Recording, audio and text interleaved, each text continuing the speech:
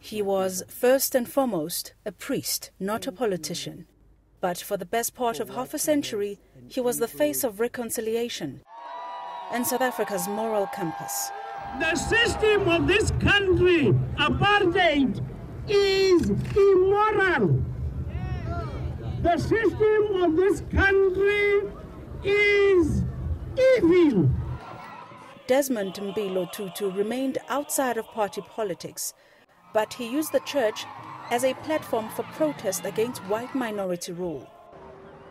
It was under South Africa's oppressive government that he first campaigned against apartheid.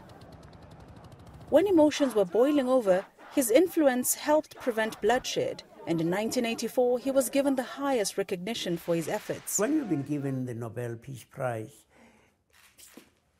it doesn't really belong to you, or, or in, in a way you can say it, it makes you uh, answerable to the world. I mean, the world, as it were, has a piece of you.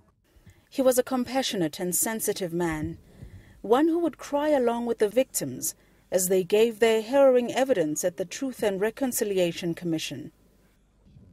It was Tutu who coined the phrase Rainbow Nation to describe South Africa's ethnic diversity, preaching unity in the face of adversity.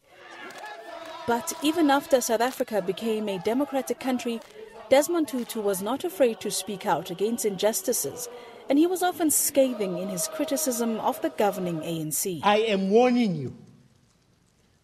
I am warning you that we will pray as we prayed for the downfall of the apartheid government. We will pray for the downfall of a government that misrepresents us.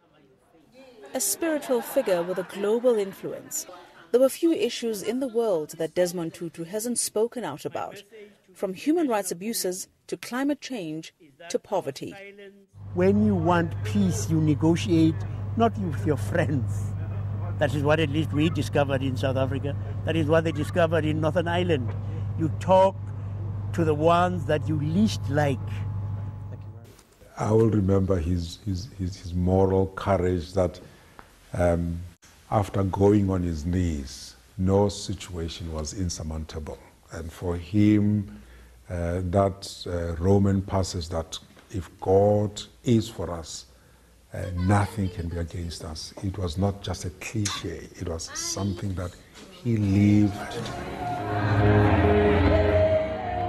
It's an enormous loss for South Africa. But Desmond Tutu's irrepressible sense of humor and relentless pursuit of justice will long be remembered by all.